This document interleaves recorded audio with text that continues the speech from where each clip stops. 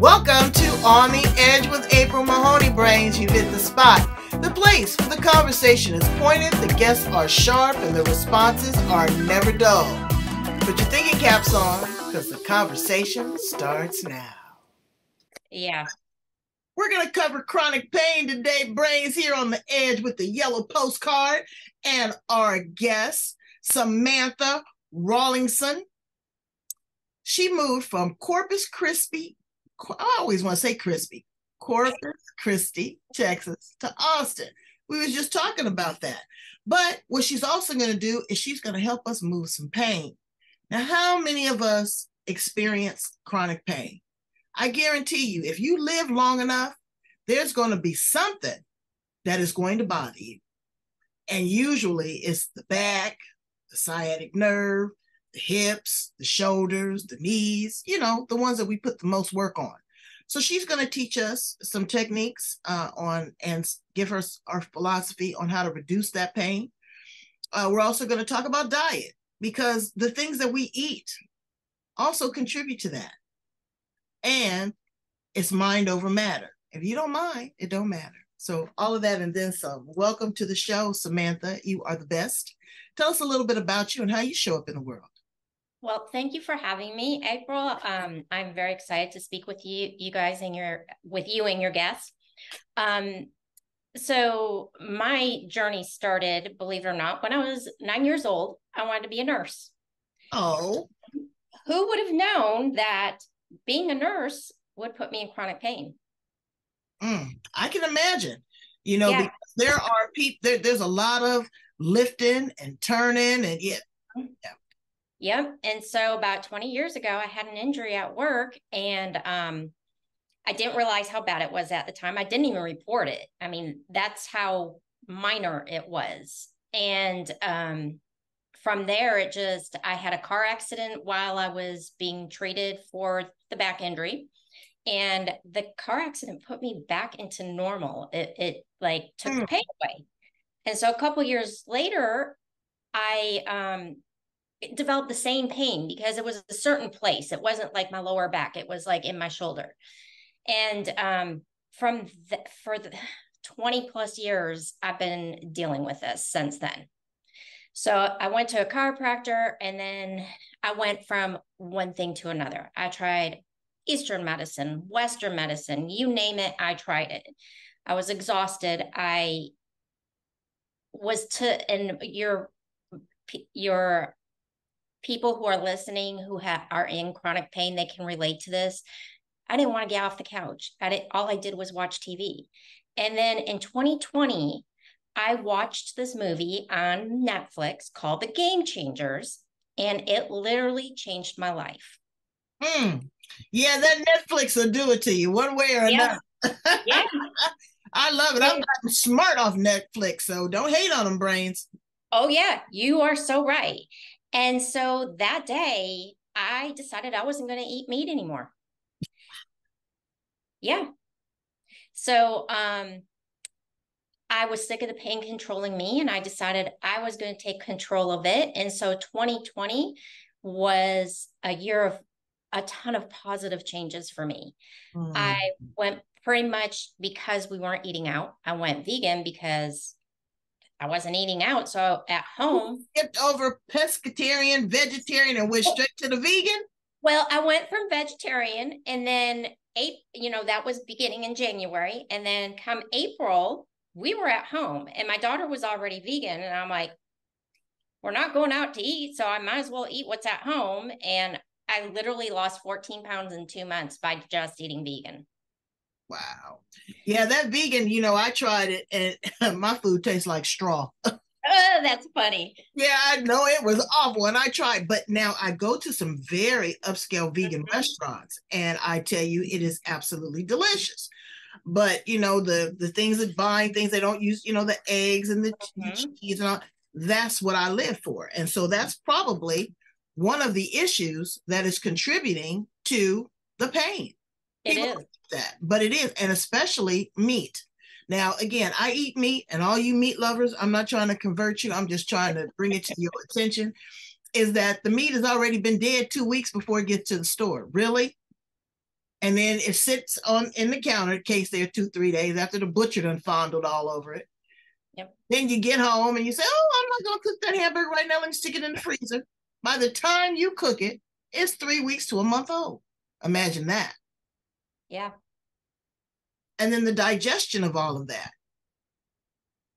Mm-hmm. And if you look at it, Samantha, the strongest animals in the animal kingdom are vegetarians.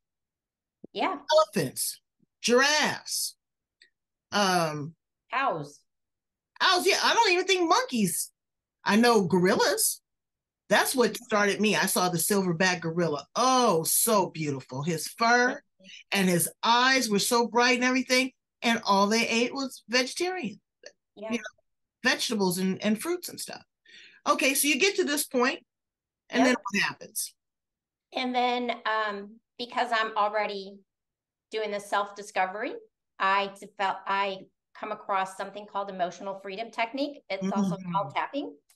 And I started transforming my mindset amongst everything else. And so the last three years, I've just been on this journey. And yes, I do still have pain. It's not totally gone, but most days I keep it at a manageable level. And I really do believe it's from changing everything I did my mindset, my diet, just uh, even my lifestyle. I wasn't moving, I'm moving. I do things every day, whether I hurt or not, because when I don't, it makes it worse. Mm-hmm, mm-hmm, mm-hmm. I found that too. I've picked up gardening again. And for the last, well, there's only so much gardening you can do, but, for the last week and a half, let me tell you, picking up those big, I got all new pots, big porcelain pots and uh, five and 10 pound bags of dirt, moving them. And even the water can can be uh, heavy. Oh, yeah. You and know? let me you gardening is also great for your mind because it's a way of meditating if you're not listening to music or anything and you're just concentrating on the gardening. That's a type of meditation when you think about it. Well and i'm talking to the plants. When exactly. i get, when i get up in the morning i go out there and i say good morning guys and i tell you their leaves just start everything is energy. Every single thing is energy. Every single thing needs oxygen and water I agree. You know, and so that's very important. And you were doing a lot of physical work though, because mm-hmm. there's patients and all of them aren't, you know, 120 pounds. You got some people four or 500 pounds. You know, you need, uh, I know I've seen people in the hospital where they need two or three people. They've had a procedure on how they lift and how they have to get their legs up to change them. If they have to do that, have to have to assess them to the, uh, the bathroom or walking you know all of that is a lot of uh, very physically demanding. So now you get to this point and you're in chronic pain. You are um, you've tried everything you know and brains again if you're under a doctor's care continue to do that. We're not trying to tell you to do anything else but these are some alternatives. But i know those injections what happens sometimes and with some people is that it numbs the pain to the point where you think you're absolutely fine and then you overcompensate. Right and then when it wears off, then you're jacked up like a soup sandwich. I love that. That's pretty messed up. But you know, or if you have hip problems or knee problems, you overcompensate on the other side. Now, physical therapy is very important, but mm-hmm. I, you know what? I do my own exercises. Yoga is amazing. Mm-hmm. It works with the mind. What are some of the things that you do on a regular basis, day by day, that really helps you with this? Um, like you said, yoga is um, one of stretching is a very important one for me. Um, and so, like you said, the medical interventions, the physical therapy, those are important. The other thing that people um, don't even think about with chronic pain is things like the cognitive behavioral strategies, CBT, NLP, um, just therapy because therapy can um some for some people not everybody they have things from their past and that's why they have the pain. So many people tell me that. So many of my guests swear to that. They say that this is epigenetic or this is from previous trauma. Yep. You know what? When you're in pain you're not thinking about no. how you know how you almost got hit by a car at five or how you almost drowned. You're not thinking about that. You're thinking about what's going on right now. How do you pull back the layers to find the root cause? How do you do that? It's, that's exactly how is the therapy and the um, for me I, I really believe in journaling and mm-hmm. when you're journaling, journal on when you write, put that pen to paper, journal on all the negative first. Get everything off your chest, just whatever you can think of, because that when you hold on to that and you hold on to stress, it makes your pain worse. So journal and then follow it up with gratitude. What are you grateful for? Mm-hmm. Even if you're dying that day, I'm grateful for the trees out there. I am grateful for the weather. I am I'm grateful that I can write. Well, let me tell you about my gratitude situation the other day. I was out here, wasn't gardening, I was walking up this monster hill. I was at the bottom of the hill and I looked up and I said, shoot, I don't want to walk up this hill. I'm gonna turn around. And then spirit sat right there on my shoulder and said, Do you know how many people can't get out the bed? Yeah. Do you know how many people are not able to walk? Do you know how many people wish they had a beautiful neighborhood and community that was safe that you could walk in? I was like, here we go. And when I got to the top of the hill, I patted myself on the back. I was so proud of myself. Good for you. You know, so it is about gratitude and it's not thinking of it as a punishment. It's actually a gift right. because there's so many people that can't do that. I want to go back to diet for a minute. Okay. Um, you know, we talked about dairy, and uh, we haven't talked about dairy and sugar. How does that constrict the muscle and the blood flow that can uh, that can attribute to chronic pain? Oh man, let me tell you, sugar is, and you probably heard this, eh, brains out there. You guys have probably heard that sugar is like cocaine. Mm. It is. It's very addictive and it's hard. And I am number one sugar addict. Okay. Um, but changing my diet made a difference. Limiting that sugar really helps bring the inflammation down. And because all sugar does is it causes inflammation in your body and um, it just makes it worse and worse. So, sugar is bad for so many reasons and it's so good to taste. well, you know, it was strange when I was in China, I ordered water and everyone else ordered soft drinks. And the waitress said, Ah, you're one of the few Americans that don't enjoy that sweet poison. Oh, yeah. And now when I look at a particular beverage, I'm like, that's sweet poison. Just because it's sweet doesn't mean that it's not dangerous. Exactly. And you can get, if you really have that sweet tooth, you can do things like fruit. Fruit has natural sugars. It's not dangerous like the added sugar. The added sugar actually causes the inflammation in your body, and your, eh, which in turn causes the pain. Mm-hmm. So if you can decrease that, and eh, the number one question I have is how do you do that? Well, you take one step at a time. Right.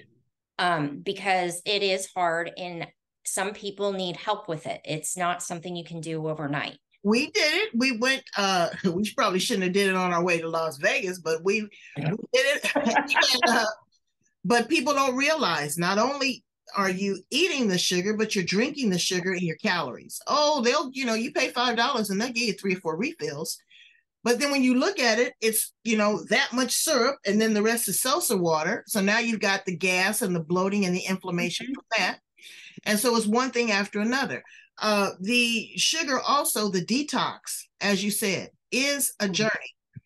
Because again, we did it when we went to, to Vegas and we had the headache from hell. And I was like, what is going on? You know, what you what's going on? It will really take you through something. And then you feel guilty when you go back to it. But it is it's very addicting. It's very addicting.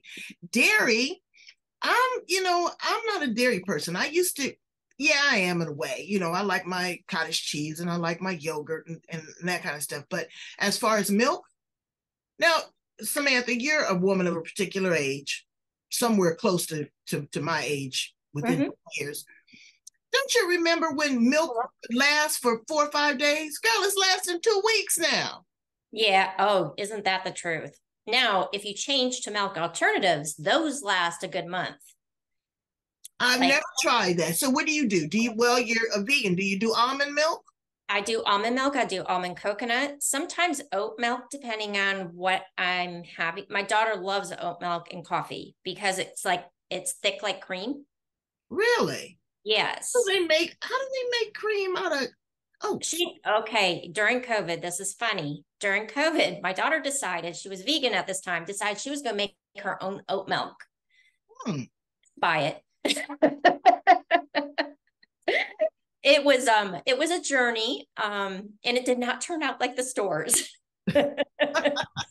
So um you can i mean some people out there like doing that kind of stuff and you can you can make your own almond milk and um but th- those are alternatives in ice cream um yes there's still sugar in it but if you still need that thing you can use the alternatives. They have uh, um alternatives milks and ice cream um, cheese is my big issue and um I love cheese too. Uh, I know. And I've given it up for the most part. Every once in a while I'm like, "Oh, I really want something."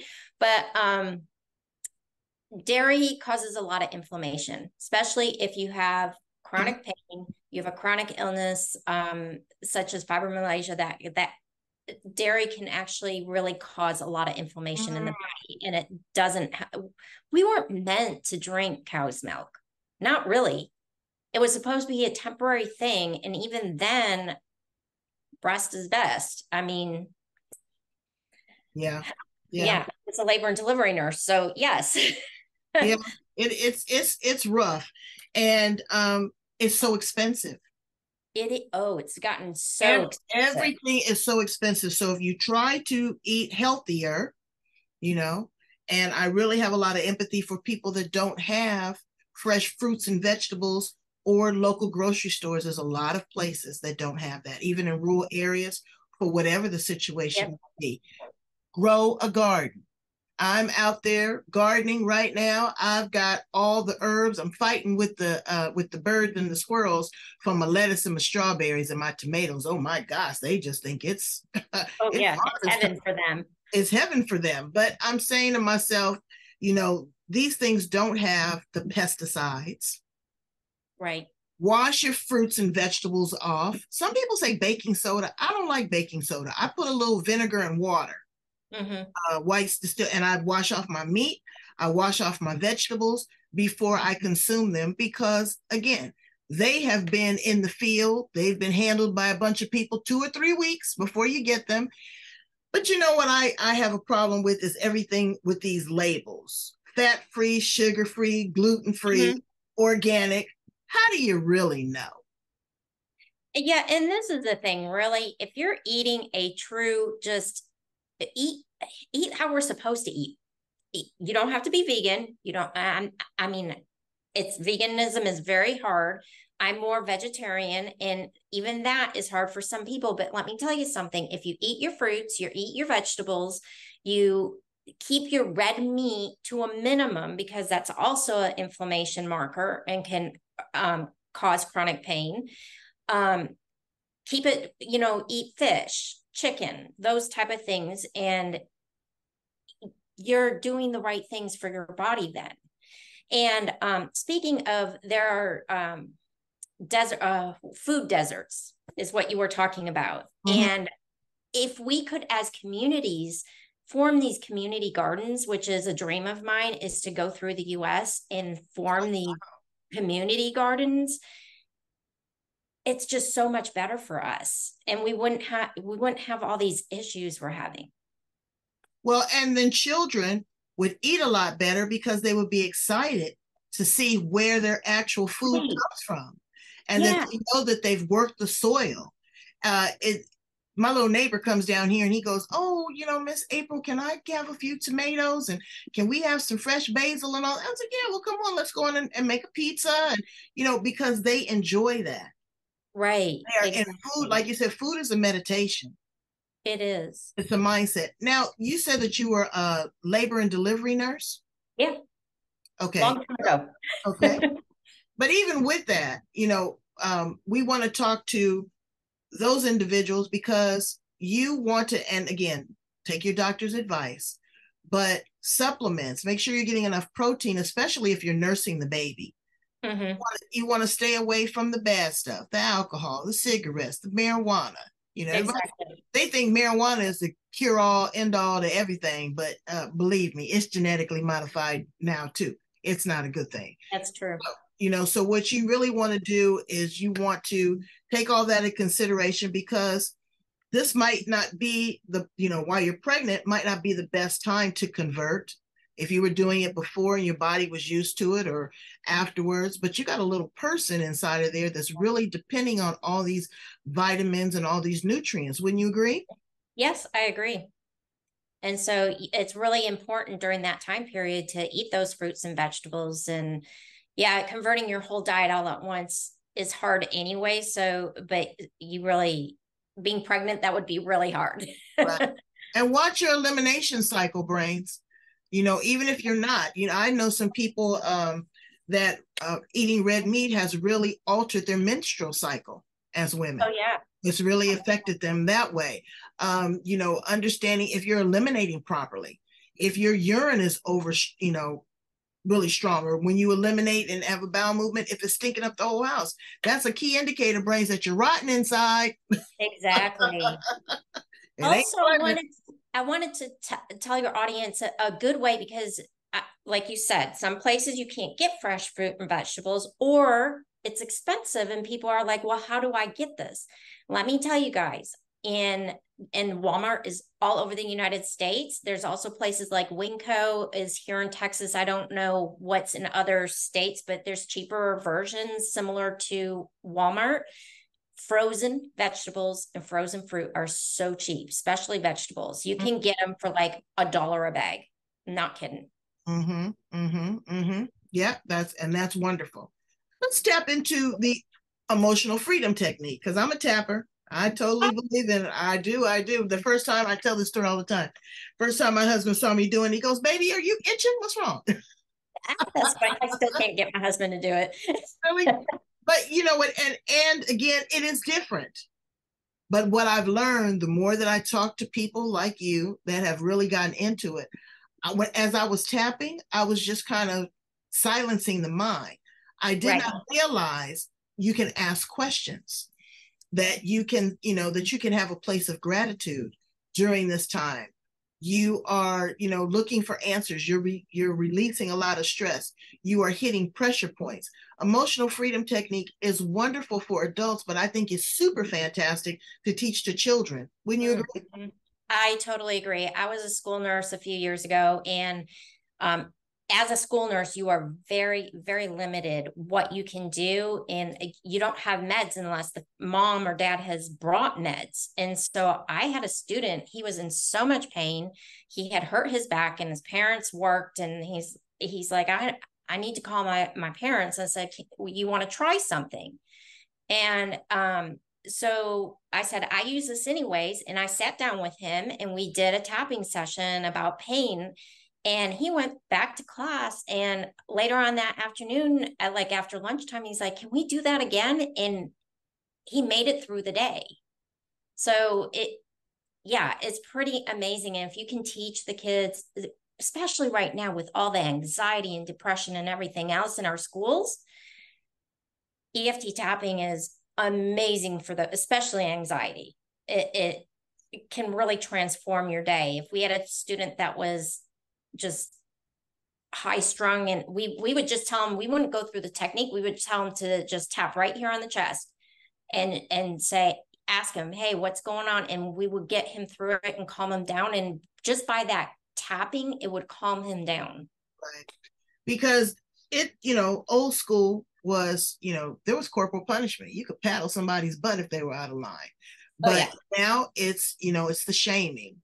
It's the isolating them away from the other kids. It's the detention. It's the writing standards. Well, there's a 25 kids in one class and one teacher and no teacher's aide.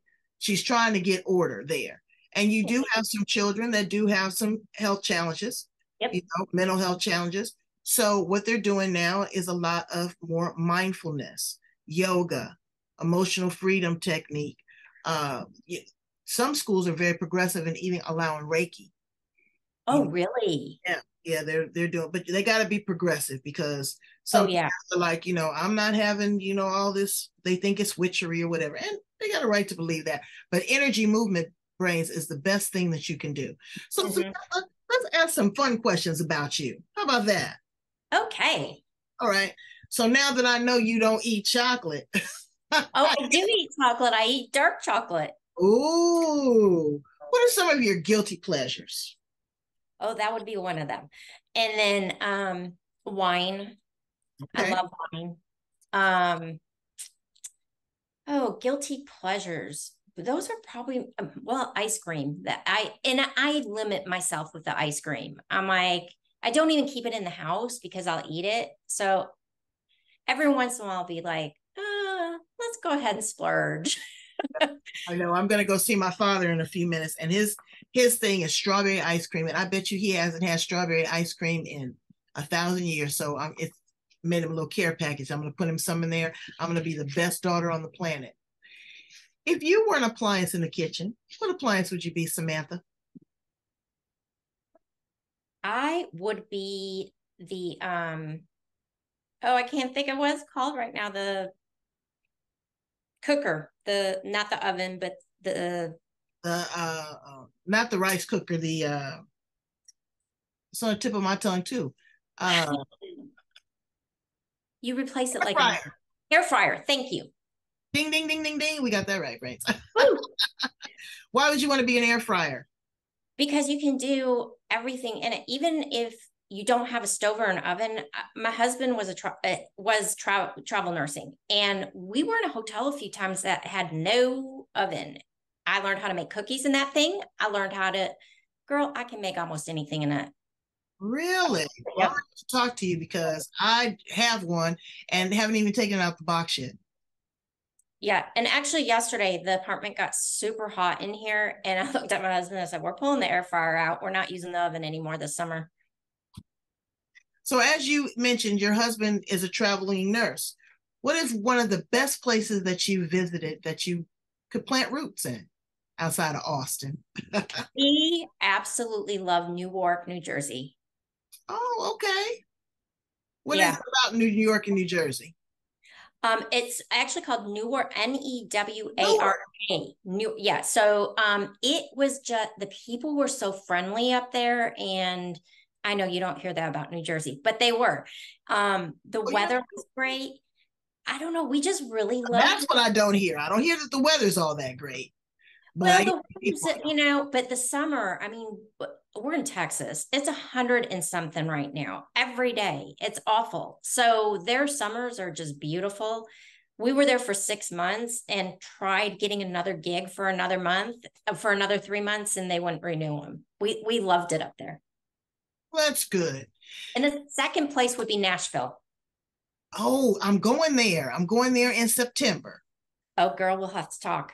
Yeah, okay. We'll talk offline. I, I just booked my ticket this morning and I am excited. I want to see the Grand Ole Opry and I want to eat. Nashville is amazing. It really is. Again, the people are nice. It's a smaller city. It's not real big. It, I mean, they have a little bit of traffic, but nothing near what our big cities have.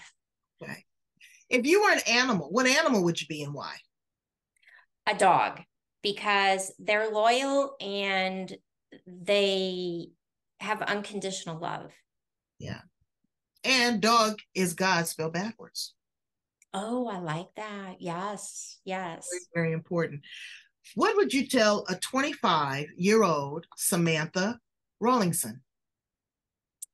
I would tell her kind of what I have lived by is don't live without regret. With, don't live with regrets. When you make decisions, think about am I going to regret this? Or am I, I wish I would have. I, I know too many people who are in their 50s and they're like, I wish I would have done this. I wish I would have. I don't live that way. And I would tell my younger self that all over again. So, no, if I coulda, woulda, shoulda, just go ahead and do just it. do it. Just do it what would you tell um, a nurse right now that's struggling and you know saying you know what i don't find joy in this anymore how would you encourage her Oh, that's a hard one because that's kind of where I'm at. um, I would say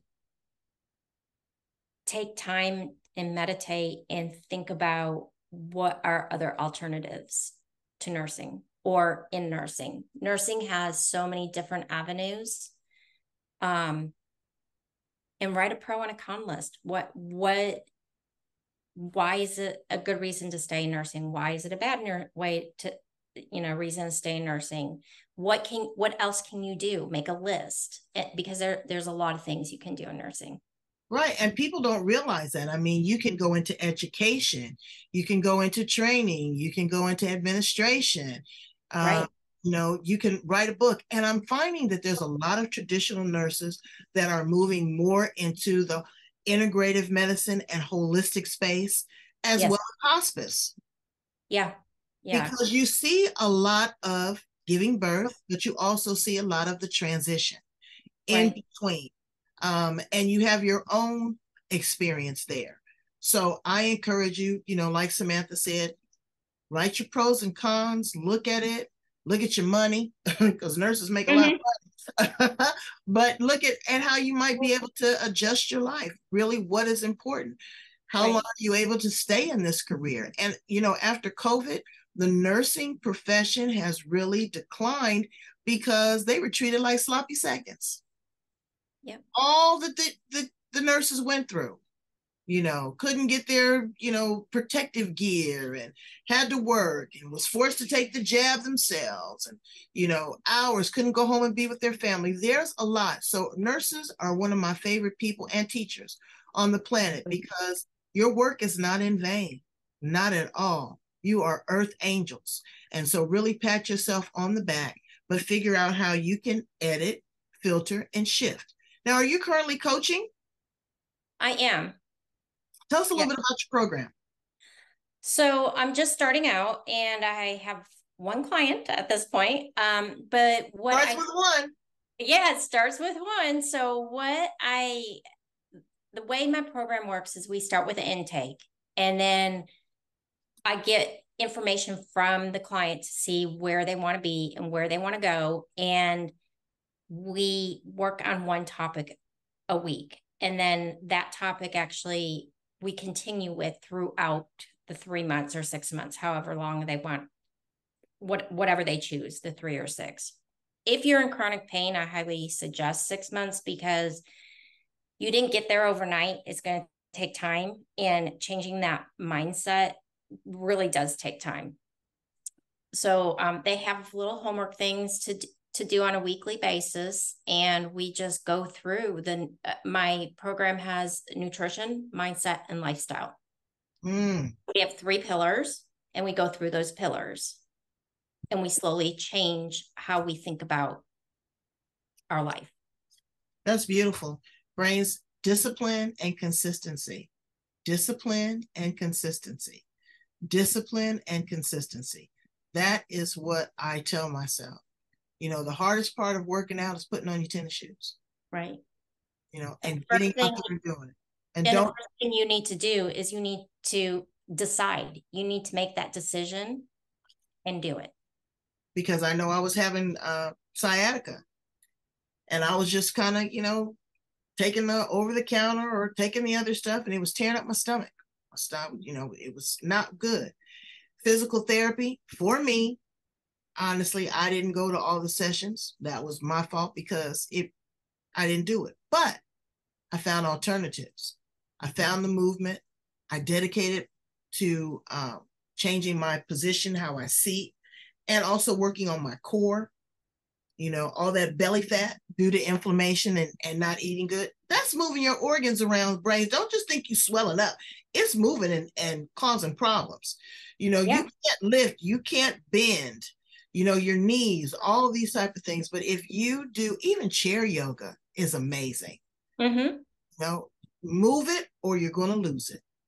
Right. And and to let people know, people think yoga and they think these people who can do back bends and do, you don't have to be doing those. It it can be mild things that make a huge difference in how you move.